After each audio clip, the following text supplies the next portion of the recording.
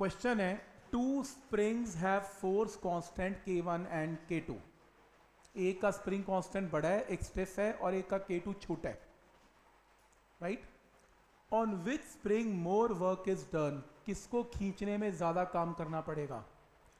अगर they are stretched with same force force दोनों में क्या लगाई? सेम लगाई। एक बात बताओ, एक हार्ड स्प्रिंग है, एक सॉफ्ट स्प्रिंग है। फोर्स आपने सेम लगाई तो क्या एक्सपेंशन सेम होएगी? नहीं, हार्ड स्प्रिंग में कम होगी, सॉफ्ट में। तो लेकिन फोर्स तो सेम है ना तो पहला रूल क्लियर है k one x one is equal to k two x two clear है?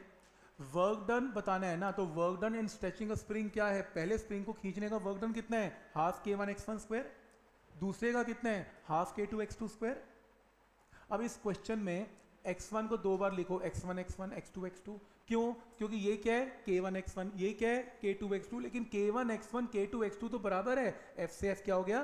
कैंसल क्या बचा? X1 x2 अब क्योंकि आपको पता है k1 x1 k2 x2 k two x two के इक्वल है तो यहाँ से रेशियो आ गई x1 x2 की के टू बाई के वन तो आपने इस रेशियो को यहाँ पुट कर ली के टू बाई के वन अब आपको ये पता है कि जो वर्क डन की वैल्यू आई W1 W1 by W two वो किसके इक्वल आई?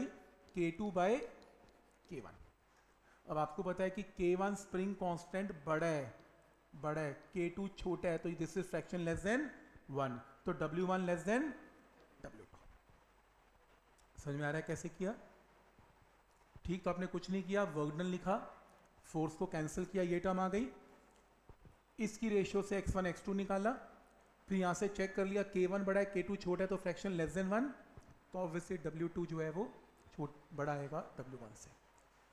एक और क्वेश्चन सेम आएगा लास्ट फिर से वर्क डन कंपेयर करो.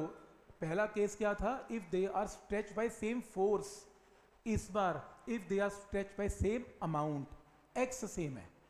इसमें बहुत आसान है. लिखो फॉर्मूला एक्स सेम है, बचा क्या? के वन के टू काम ही खत्म. तो K one greater than K two fraction greater than one W one greater than W two बात खत्म.